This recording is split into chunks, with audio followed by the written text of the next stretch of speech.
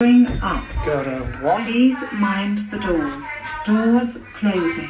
Okay then, this is the lift at Boots at the Dolphin Shopping Going Centre up. at the Dolphin Shopping Centre in Poole Town Centre. And this is a generic lift capacity, 16 persons, 1200 kilograms. Hello.